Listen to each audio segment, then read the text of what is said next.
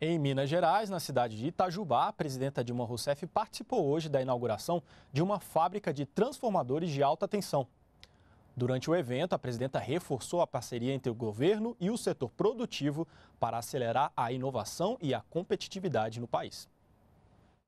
A nova área construída conta com mais de 11 mil metros quadrados. Aqui vão ser produzidos transformadores de alta tensão. A produção é destinada a empresas do setor elétrico, na geração, transmissão e distribuição de energia. A fábrica tem capacidade para produzir 52 mil peças ao ano e vai gerar mais de 150 empregos diretos. A presidenta Dilma Rousseff participou da inauguração em Itajubá, Minas Gerais.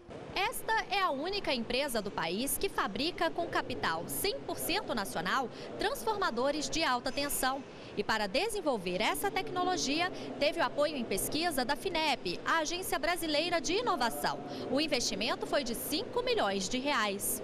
É esse o Brasil que queremos. O Brasil que avança, o Brasil que marca pontos, o Brasil que faz o seu futuro vir mais rápido, chegar mais rápido com a política industrial voltada para valorizar o conteúdo nacional, valorizar a inovação e a capacidade de absorção tecnológica. Expressamos aqui também um princípio e um compromisso, o da parceria entre o setor produtivo e os diferentes níveis de governo, para acelerar o desenvolvimento tecnológico e a inovação em nosso país.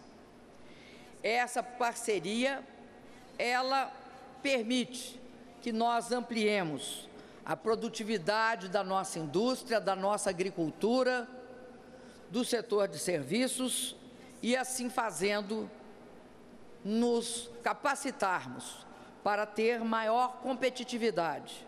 A presidenta Dilma também falou das ações para reduzir custos e ampliar linhas de financiamento para a indústria nacional.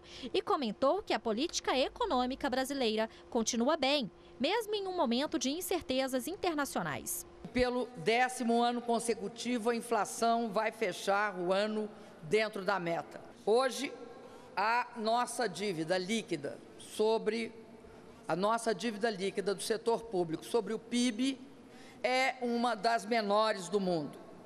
Elevamos os nossos níveis de reserva internacional para 376 bilhões de dólares.